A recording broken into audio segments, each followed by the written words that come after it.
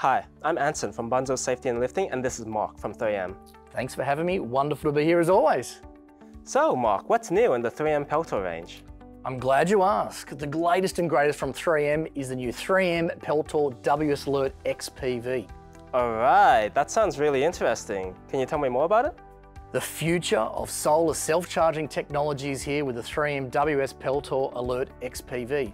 It uses the surrounding light to power your headset, reducing the need for disposable batteries.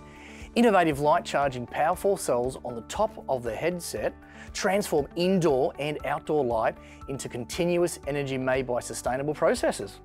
Wow, that's incredible. Is that the only unique feature of this headset?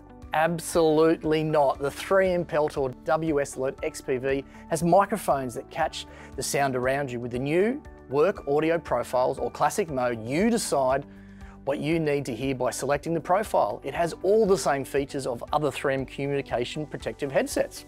Is there anything else you'd like to highlight about this innovative product? I certainly would. The other main feature to highlight is the ability to connect the 3M's Connected Equipment app to control your Peltor headset through your phone or tablet.